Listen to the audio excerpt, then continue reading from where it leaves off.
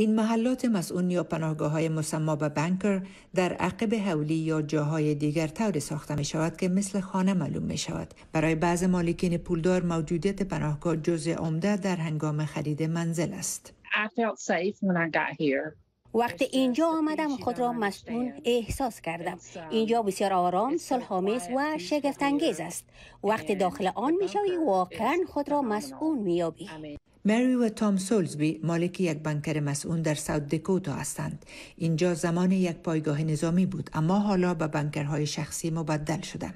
اکثریت این بنکرها مطابق میل مالکین جدید بازسازی شده است. خانواده سولزبی نمی‌خواستند منتظر بمانند. آنها خانهشان را در جورجیا فروختند و اینجا آمدند. زمانی که همهگیری ویروس کرونا آغاز شد ما در این زیرزمینی در جورجیا آمدیم با خود اندیشیدیم که به خاطر سن من و تکالیفی که مری دارد ما باید اینجا باشیم تصمیم گرفتیم محل با چهار میلیون همسایه را به محل با سی همسایه تعویض کنیم رابرت ویچینو فروشنده بنکرها در کمپانی Vivos xPoint می‌گوید خانواده سولزبیز تنها کسان نیستند که این تصمیم را پس از همهگیری ویروس کرونا اتخاذ کردند. تقاضاها 2000 فیصد افزایش یافته یعنی 20 مرتبه بیشتر. فروشات 400 فیصد افزایش یافته.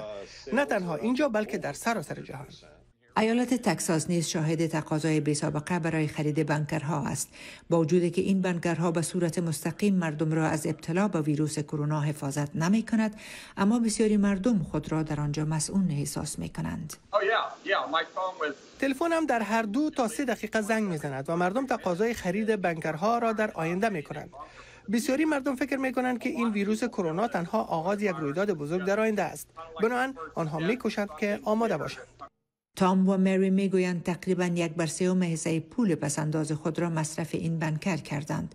تا چند ماه دیگر آنها در نظر دارند تا از دختر و نواسه هایشان دعوت کنند تا بیایند و اینجا زندگی کنند. نجیبه خلیل تلویزیون آشنا صدای امریکا واشنگتن.